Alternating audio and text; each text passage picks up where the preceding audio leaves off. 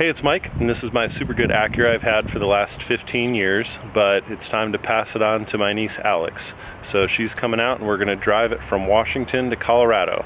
We haven't decided which way we're going, but we're going to take the scenic route, so it's going to take us a bit of time to get there. So it'll be some good videos with uh, Alex and me as we venture from Washington to Colorado in the Acura, and we'll be turning it over.